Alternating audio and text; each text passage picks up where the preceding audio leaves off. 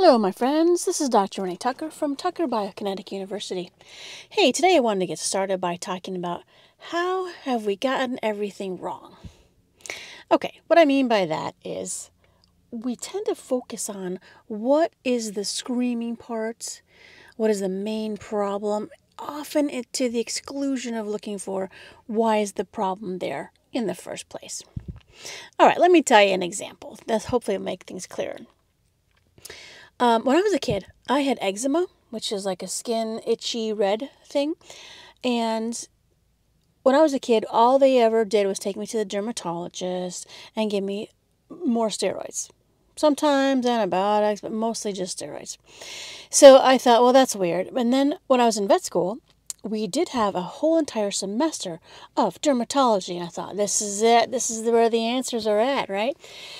And um, what we do in dermatology, at least in vet school, okay, is we can look at the skin, get some nice um, ideas of what's going on, uh, feel it, see if it's oily or dry, if it's flaky or scabby or looks infected. And, you know, the ultimate test for dermatology is to do a skin biopsy. So I spent an entire semester looking at little slides of biopsies and, you know, memorizing what looks like what. So therefore, I could give you a lot of different diagnoses of skin conditions. This sounds really great. Well, what happens is, no matter what the diagnosis is, the treatment is antibiotics and steroids. It's still the same thing. I was really kind of saddened by this. I thought, who would spend their whole life being a dermatology specialist, which is a lot more schooling after med school, to just prescribe antibiotics and steroids. Okay, I'm sure they have a little bit more tricks up their sleeve nowadays, but in the veterinary world, skin stuff is still quite complicated. Now, why am I saying we're doing this all wrong?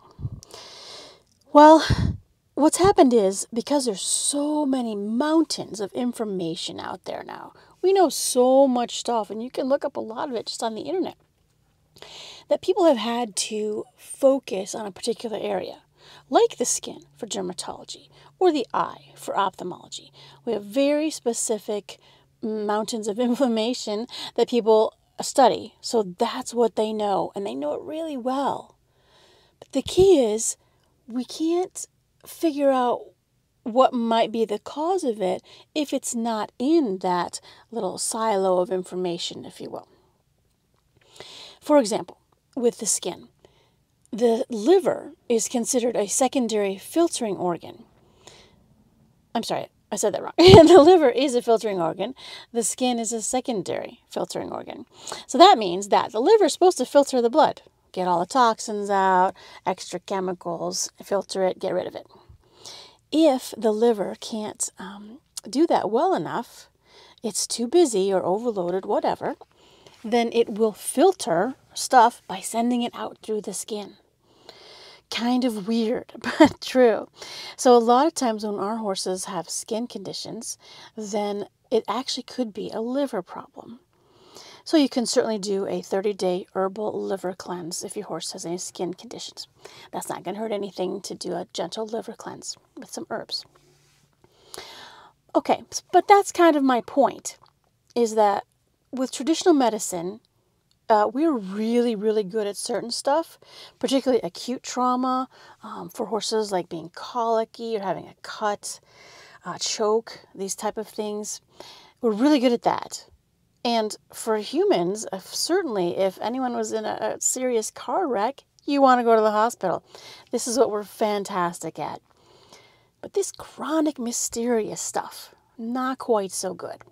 Because I feel we're too focused in our little areas of expertise because no one can know everything. It's kind of overwhelming.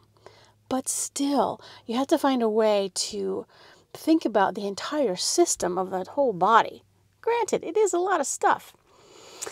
But we'll never figure out what's wrong with the skin if we don't figure out why is the skin doing that. And it's often the liver, not the skin at all. Okay, so that's just one example. There's plenty of these which I'll be talking about in future episodes. But what I really want to encourage you is that we're really figuring this out with alternative medicine, holistic medicine, uh, TBT University. Uh, we really look for the primary problem, um, which is often not the one that is screaming at you. It's not the super itchy spot. It's not the uh, swollen and red spot. Um, I often tell the story, and I'll repeat it, of my friend Harriet. So she's a horse trainer. She rode six, eight horses a day, and uh, she had a really painful knee, swollen, red, couldn't really bend it very well. She, I'd often see her because um, I worked on the horses across from the cross ties to her office. So I could see her in there, and every time she'd ride and someone was taking up the next horse, she'd be sitting down, putting her her, her leg up on the desk with an ice pack. I'm like, oh my gosh, Harriet, what is going on? Is your knee still sore? She's like, yeah. So I'm taking so much ibuprofen and icing all the time. I don't know what to do. And I'm like, have you gone to the doctor? She's like, no. No, not that I blame her, okay? But still, she hadn't gone, and this was going on for six months. And she's, you know, so sore and swollen and red at that point, you might need an x ray or something. Long story short, she finally went to the doctor. Guys, guess what? Her hip was actually the problem. Her hip was just bone on bone. She said no cartilage left at all. She needed a hip replacement. And I was like, "What? What happened? What what but your knee?" She's like, "I know."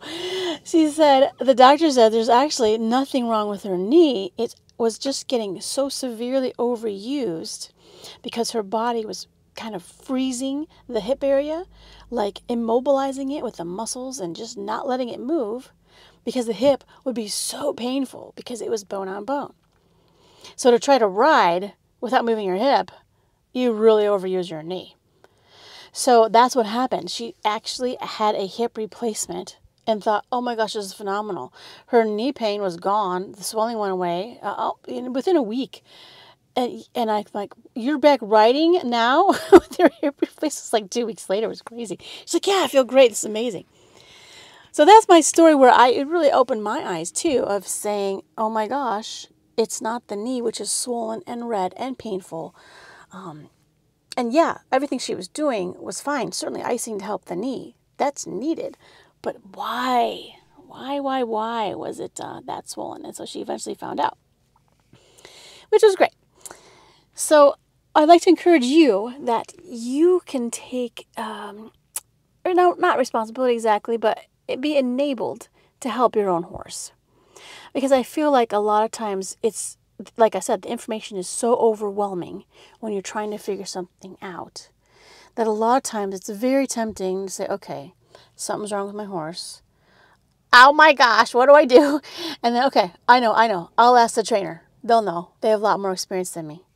Oh, wait, wait. No, no. Let me also ask my friend who has had 20 horses. Perfect. What about the farrier? The farrier sees hundreds of horses. Okay, then you finally call the vet. So what's happened is you're getting just mounds of more information. And it actually kind of, uh, I think they call it analysis paralysis, where too much information and it gets overwhelming and scary to make any kind of decision. So I do want to encourage you, you can start by learning the what I call TBT body checkups. It's just little movements to check every joint in your horse. Those are in my book, Where Does My Horse Hurt? They're really easy. Like, for example, for the, the knee, you just pick up the leg and you move the knee. and so you flex it. And um, the knee, actually, the cannon bone should come all the way up and touch the forearm. Okay, and if it doesn't, you don't have full range of motion. That just lets you know what your horse is normal. Maybe the horse has a knee problem. Maybe uh, might be an older horse, maybe with some arthritis. But you need to know what's your horse's normal. So all you gotta do is learn your horse's normal on all these checkups, and then you'll be able to tell whenever a problem might present itself what's really going on. Because like I said, you might be thinking, oh, it's got to be this screaming swollen part which certainly needs to be treated, but why is it swelling and screaming? There can always be some mysterious other answer. Okay, guys, so that's pretty much about it. That's just wanting to encourage you to um, be uh, empowered to help your own horse and realize that vets aren't trying to get this wrong. And I'm a veterinarian, so I'm not dogging vets at all, but there's just so much information that everyone's kind of a specialist. And what we really need to do is step back and take a really good look at the big picture. So that's all for now. If you're looking for me, I am at uh, tuckerbiokinetic.com. And also, we have a website, wheredoesmyhorsehurt.com, for more information for horses. All right, I'll see you next time. Bye bye.